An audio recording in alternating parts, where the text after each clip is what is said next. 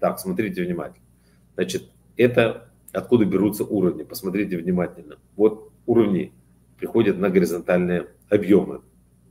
Если вы посмотрите каждую картинку, посмотрите внимательно, сейчас я вам покажу, то вы посмотрите, откуда берутся уровни. Видите? То есть это профили горизонтальных объемов. Это то, что нельзя придумать. Да? Если кто-то дает какую-то информацию, которую можно где-то что-то придумать, то вы поймете одну вещь. Видите, это профиль горизонтального объема. То есть это то место, где падают объемы.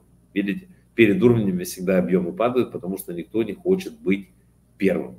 А теперь посмотрите, где самые большие э, объемы. Самые большие объемы всегда внутри канала. То есть внутри канала, то, что я всегда говорю, это, кстати, в книжке есть, внутри канала всегда крупный игрок всегда набирает позицию. Видите, у границ канала, у границ канала, если нет сильного накопления, эти уровни очень тяжело пробить. И вот я вам сейчас показываю примеры, просто элементарные примеры. Да, вот посмотрите, там и по биткоину, и по любым другим инструментам. Вот вы видите, где находятся границы профиля. То есть самые большие объемы всегда внутри канала, самые маленькие объемы всегда у границ канала. Поэтому если вам кто-то что-то начинает рассказывать, какую-то стратегию, вы всегда будете понимать, откуда берутся уровни. То есть уровни это не то, что придумал там Александр Герчик, а уровни это то, что имеет доказательную базу.